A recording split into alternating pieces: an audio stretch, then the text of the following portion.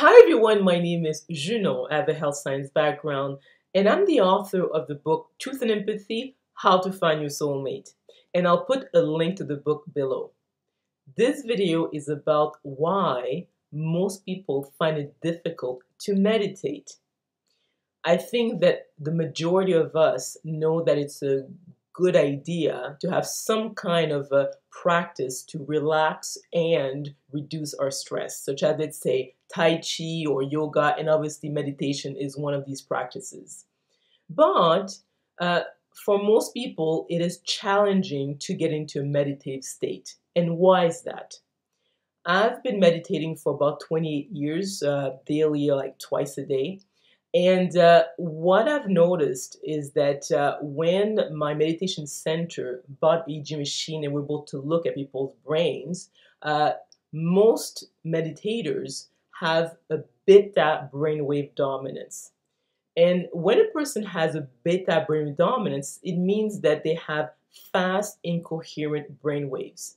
And to get into a meditative state, the person has to slow down their brain waves down to alpha or better yet theta to get into this relaxed state. And this is something that is rarely talked about. Uh, they say, oh, just meditate, whatever. But uh, the other aspect also is that the person has to have slow brainwave, but also people who are right brain dominant, also uh, it's easier for them to get into a meditative state. So in other words, uh, someone who naturally has alpha or theta brain dominance combined with being right brain dominant, they already are in a meditative state. So it's easy for them to get into a deeper state versus someone who has beta brainwave dominance and, and is a left brain dominant. So that's why I think that uh, we uh, don't give people the tools to uh, overcome this hump. Uh, what I've done is that uh, in the description of this video, I put an aura cleansing video, which is basically digital Reiki if someone is uh, familiar with energy healing practices. And I recommend that people watch this video. It's about nine minutes. It's a silent video. You don't have to do anything. Just sit down and watch it and then try to meditate. And you'll see that it's easier because by slowing down the person's brain waves, it will naturally make them more uh, capable of uh, meditating without having to force it. So, again, I think that is something that is rarely talked about uh, because not everyone is born with a brain that is very much wired for these practices. So, the main issue has to do with a person's dominant brainwaves. Like we produce all the other, you know, type of brainwaves, like you know, uh, alpha theta. But what is your dominant one?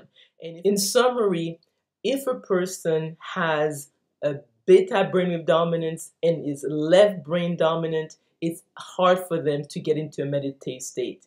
One of the best ways to actually accomplish that is some kind of a practice, just like uh, the video I'm going to put in the description, that actually can slow down your brain and actually help you relax and be able to get into a meditative state faster. For people who are naturally right brain dominant and have an alpha or even theta brain dominance, they're already there. So it's uh, you know just like a fish to water, and they have no issues, uh, you know, practicing meditation on a regular basis. So uh, I trust that this video was interesting, that you, you learned something. Uh, if so, please click on the like button, subscribe to my channel, and we will talk soon.